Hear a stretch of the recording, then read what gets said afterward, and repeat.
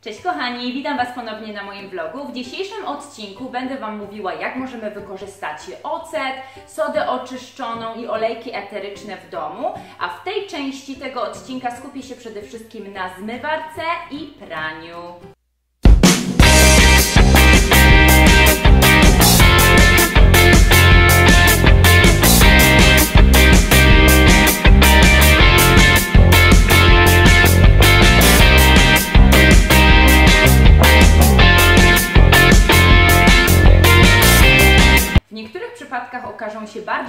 Skuteczne niż chemiczne środki, a zawsze na pewno będą zdrowszą alternatywą do toksycznych produktów, które są e, dostępne w każdym sklepie.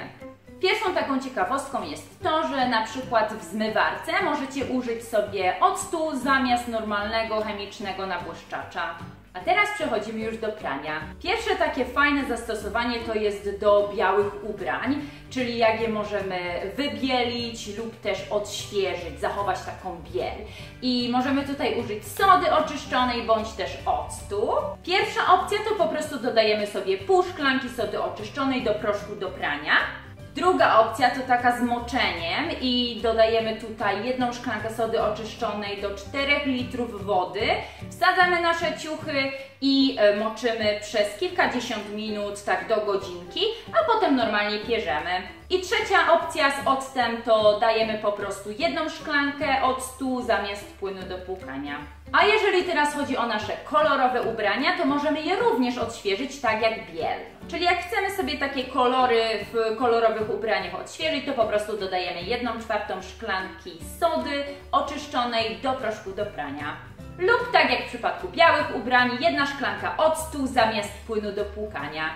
Trzecia opcja to zachowanie kolorów, żeby po prostu ubrania nowe, szczególnie które kupimy, żeby nie puszczały kolorów. Tak jak wiecie, często są takie materiały bądź też takie farby do ubrań, że kupujemy coś nowego, pierzemy i to nam farbuje inne ubrania, bądź też farbuje siebie samego. Ten ciuch, bo jest biało-czarny, biało-niebieski, coś takiego i ten niebieski przenosi się na biały, to żeby zachować te kolory, żeby one się utrwaliły i żeby nie puszczały farby, po prostu używamy octu. I tutaj możemy po prostu do e, miski dodać pół octu, pół wody, czyli taka proporcja pół na pół, bądź też troszkę mniej, tak jedna trzecia, czyli jedna trzecia y, octu, a reszta dwie trzecie wody. I moczymy sobie y, ciuchy najlepiej przez całą noc, bądź też parę godzin i potem są gotowe do wyprania. Mniej więcej to samo możemy zrobić, jak nam już ciuchy zafarbują, e, czyli po prostu już z, z jakiegoś innego ciucha e, przejdzie nam kolor na, na drugi ciuch, czyli na przykład na biały z niebieskiego, to też możemy sobie dokładnie to samo zrobić, czyli pół e, na pół, pół octu, pół wody moczymy przez parę godzin i powinno to puścić.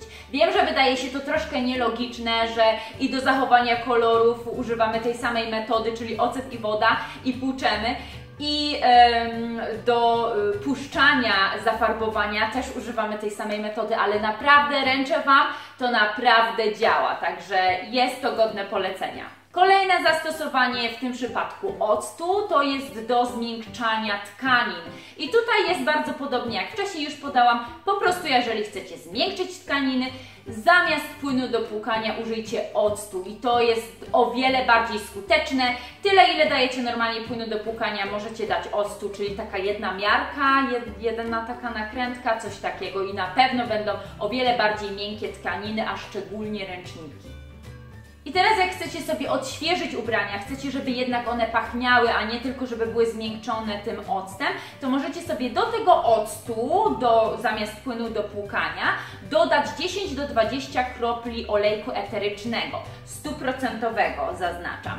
E, I może być to olejek na przykład lawendowy, z mięty pieprzowej, cokolwiek, jakikolwiek, jaki lubicie, grapefruitowy, czy tam e, z limonki, czy też z cytryny. I teraz dla tych, którzy posiadają suszarkę, jak sobie wsadzicie te ciuchy do suszarki, to żeby je na przykład jeszcze zmiękczyć, możecie sobie dodać piłki tenisowe, co naprawdę działa i będą one jeszcze bardziej miękkie. Albo jeżeli chcecie dodać sobie zapachu, to możecie sobie wcześniej przygotować kawałki szmatki na takie paseczki, pokroić, e, wsadzić je do szklanki octu z 10 kropelkami jakiegoś olejku eterycznego, waszego ulubionego, jakiegoś cytrusowego, eukaliptusu albo różnych innych lawendy i tak dalej. E, moczycie tam przez jakiś czas, ja bym powiedziała tak do godzinki i potem wsadzacie te szmatki pachnące do suszarki razem z piłkami tenisowymi i wasze pranie będzie pachniało i będzie jeszcze bardziej miękkie. No i to by już były wszystkie zastosowania sody, octu i olejków eterycznych w praniu. I sami widzicie, że jednak jest to bardzo szerokie zastosowanie. Do wszystkiego możecie użyć octu bądź też sody. Czy chcecie jakieś plamy, jakiś plam się pozbyć, czy też chcecie odświeżyć kolory, czy też zmiękczyć tkaniny. Do wszystkiego użyjecie octu i sody oczyszczonej. I uwaga jeszcze, nie bójcie się octu, bo mimo tego, że on śmierdzi jak jest w butelce, jak go użyjecie w czyszczeniu czegokolwiek, a w tym przypadku prania, nie będzie pranie śmierdziało. Także nawet jak nie dodacie olejków eterycznych, to pranie nie będzie śmierdziało octem, także nie bójcie się octu, jest tani, można go zastosować do wszystkiego. Powodzenia!